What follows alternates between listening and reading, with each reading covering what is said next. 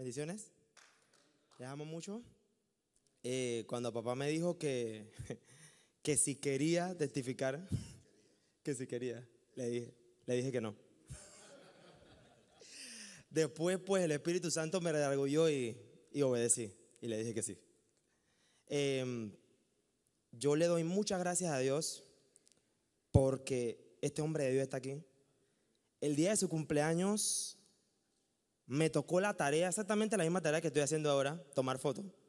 Y me dijeron, estaba en la oficina con el apóstol Hugo, y me dijeron, bueno, tómale una foto a papá y al apóstol Hugo que están allá, están juntos. Y yo no pude contenerme ver a una persona con el éxito, con el ministerio, con el calibre, con el grado y con todas las oportunidades para poder sentirse y estar orgulloso, pero no estarlo, llorando de emoción, literalmente llorando, tanto que yo le decía, papá, por favor, no siga llorando porque no le voy a poder tomar la foto. Y bueno, iba a decir una frase que no voy a decir, iba a decir adivinen, pero no adivinen. Díganme qué, no tomé la foto, ninguna foto salió bien, no pude. Y lo que le dije ese día fue, gracias papá por, por obedecer a Dios, porque usted salvó mi vida. Y así lo veo yo. Yo no tenía ninguna opción para ir al cielo, porque estaba en un infierno. Estaba en una iglesia donde, lejos de acercarme a Dios, lo que hicieron fue alejarme.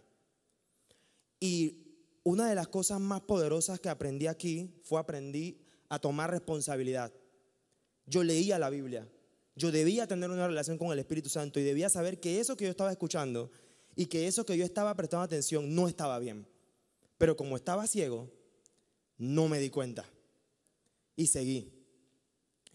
Eh, el mensaje, yo no era parte de la iglesia, de esta iglesia, pero hubo un mensaje que yo escuché, un video que yo escuché por YouTube de papá, de un mensaje que donde yo me di cuenta que yo no estaba ni cerca de ser cristiano. En ese mensaje, papá, era el título del mensaje, era Lo que espera Jesús de ti, en la serie, eh, ¿quién es este Jesús? Y yo no cumplía ni lo primero que decía ese mensaje, ni lo primero. Y me di cuenta que mi destino no estaba bien, que yo tenía que corregir. El día que decidí salir de la iglesia en la que estaba, hablé con la persona, era una pastora, sobre que iba a salir que me iba a ir a otra iglesia, que iba a venir aquí, me dijo que el día que saliera por esa puerta, que si yo decidía salir por esa puerta, yo me iba a perder. No pasó, gracias a Dios. Porque vine a este lugar. El Marco que entró por esa puerta lleno de pecado, lleno de inseguridades, lleno de temores, descalificándose siempre a sí mismo, em, reprobándose diciendo que no podía, que no podía ser un instrumento usado por Dios, ese cambió. Por el amor, la dedicación y el ejemplo que tenemos de un padre espiritual, un verdadero padre en la fe. Como le dijo Pablo a Timoteo, así mismo, tenemos un papá. Y como lo dijo una vez, eh, yo lloré con la canción Desesperado estoy por ti en el 2017, yo lloraba con esa canción, me ministraba, me bendecía, pero en ese punto yo no estaba desesperado por Dios. Eh, yo no sé qué pasó, eh, pero cuando menos pensé, esa desesperación por Dios creció. A tal punto que de verdad yo miro hacia atrás mi familia se da cuenta. Mi familia no se congrega en esta iglesia, pero se ha visto impactada. Ha sido la única vez en la vida que me han aceptado una invitación, sobre todo la persona más difícil de mi casa, que es mi papá. Y vino aquí y hasta ofrendó, algo difícil, pero ofrendó con amor. Y dijo, me gusta este lugar, me gusta la palabra.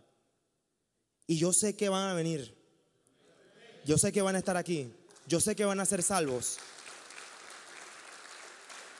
Pero lo más impresionante de todo ha sido que quiero comunicar la misma desesperación por Dios que, he recibido. Y quiero seguir más desesperado por Dios. Pero sobre todo, eh, no quiero hacer contrapeso al hombre de Dios. No quiero hacer contrapeso al hombre de Dios. No quiero ser un obstáculo. Quiero ayudarle. Por difícil que suene que un joven pueda ayudarle, un joven como yo pueda ayudarle, yo quiero ayudarle a cumplir la visión que Dios le dio. Y de verdad, muchas gracias familia, los amo mucho, papá, le amo mucho.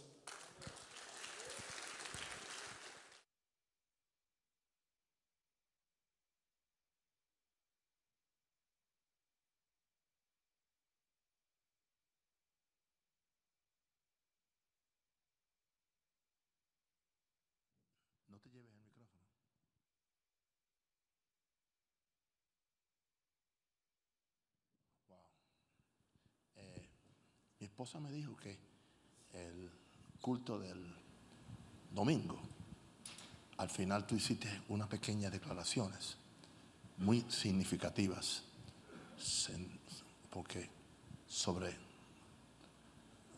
en sí yo no, yo no oí todo pues creo que cortaron la, la transmisión o algo. Y porque hoy yo voy a hablar acerca de, de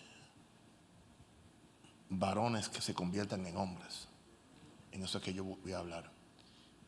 Y una de las cosas más difíciles es la carencia de, de- de uno no criarse con, con un verdadero padre. Y estamos hablando de lo natural. Y si es difícil de lo natural y después vienes a la iglesia y tampoco en- encuentras uno, es doble difícil. Yo creo que esa es una de las razones por las cuales yo estoy haciendo esto. ¿Entiendes? El, el- el jueves, supuestamente, el único día que yo, yo tengo libre para no, no predicar. Perdón, el martes, gracias, Cristian. Y yo quisiera que tú, simplemente como lo hiciste, tú le digas a ellos, ¿cómo uno puede cope with that? O sea, bregar con eso. Porque no es fácil, no es fácil. Yo no sé, porque yo no tuve esa. Yo, yo tuve la, la figura paternal. Fuerte, pero necesaria. Ven, rapidito, en tus propias palabras. Bendiciones, hermanos. Eh, bueno, mami eh, predicó un mensaje para mí muy significativo acerca de, de mirarnos como Dios nos ve. Y yo le decía al finalizar, traté de contener las lágrimas, que cuánto yo daría por haber escuchado eso cuando yo estaba niño. Que mi papá, mi mamá eh, me pudieran encaminar eh, a verme como Dios me ve. Y diferente a eso tuve que pasar por un proceso de tantos señalamientos, incapacidades, eh, prejuicios mentales. Tuve que batallar yo mismo hasta que, como dijo Marcos, llegué aquí y encontré dos padres espirituales que realmente creyeron en mí, aunque yo no creía en mí. Y yo le decía, mami, gracias, porque usted es una madre para mí. Y yo le decía también que si no fuera por ella, yo no fuera líder de jóvenes. Porque ella fue la que dijo, nene, yo creo que tú puedes. Y yo le dije, yo, o sea, yo no creo que yo llegue ni a los talones de, de ser un líder de jóvenes del ministerio en la cuales ustedes han fundado. Y ella me dijo, no, yo creo en ti y tú vas a predicar el próximo viernes. No sé qué vas a decir, pero yo sé que Dios te va a dar algo para, para compartir con aquellos jóvenes. Y fue esa valentía o ese, no sé, esa extrema fe que tuvo mami en mí. Aunque yo no tenía fe en mí, yo sabía que no daba las capacidades, pero fue ese empuje de que yo pude poder en alguna medida creer que Dios lo podía hacer en mí. No tanto creer en mí, sino creer que Dios podía hacer algo a través de mí. Y yo creo que los hombres necesitan, no solamente con ellos mismos, porque yo sé que muchos de ustedes quizás tengan muchas inseguridades, muchas incapacidades, pero por favor, no le frustre la vida a sus hijos. No mate el propósito de Dios que tiene con sus hijos sino que usted, aunque quizás usted no vea lo que Dios tenga con sus hijos, usted marque a sus hijos que ellos van a hacer lo que Dios ha dicho que ellos serán.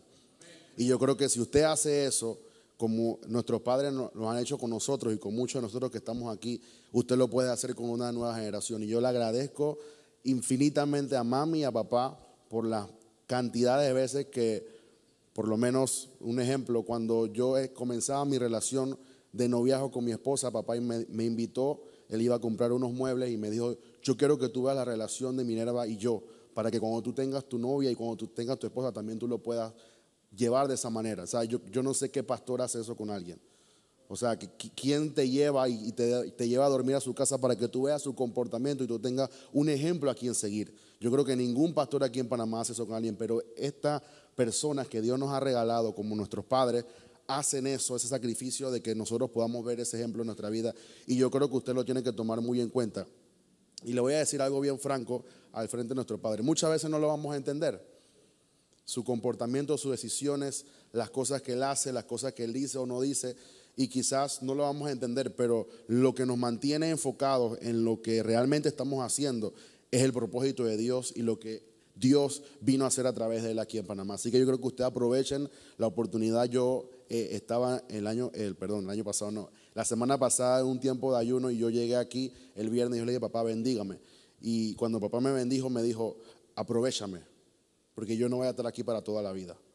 Entonces yo creo que esas son las palabras eh, o sea, ¿cuánto daríamos nosotros por estar al lado de Spurgeon, por estar al lado de Juan Wesley? Pero tenemos a alguien aquí que se llama un Rosario, que tiene también, y yo creo que tiene mucho más de lo que tenían esos hombres de Dios, y tenemos que aprovechar lo que hay dentro de él.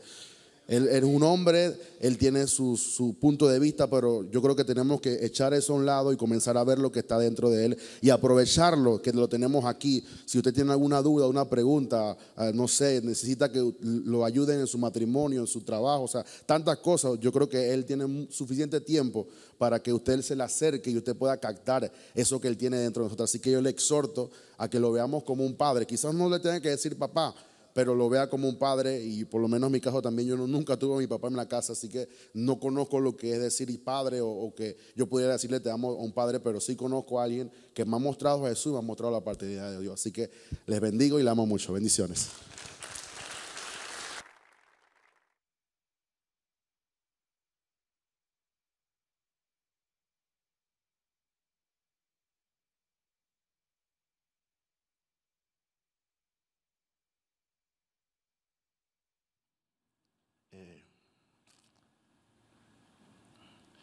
El hecho de que hay una nueva generación, como dice la Biblia, generación viene, generación va.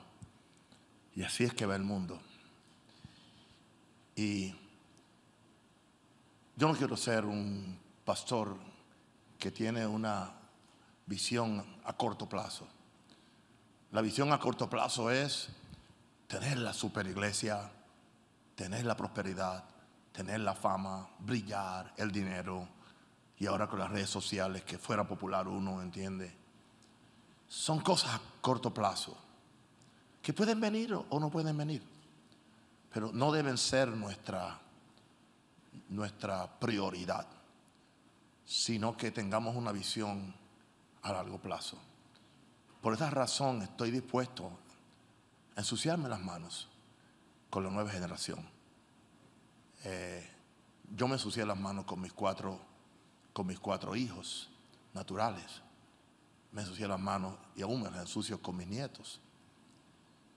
Pero es porque es parte de lo que uno siente que es su responsabilidad. Y yo quiero que ustedes entiendan la importancia. Sea, yo no quiero que esto se convierta simplemente en un discurso más, en un mensaje más. Para eso, yo puedo quedarme en casa, dictar esto en la comodidad de, mi oficina,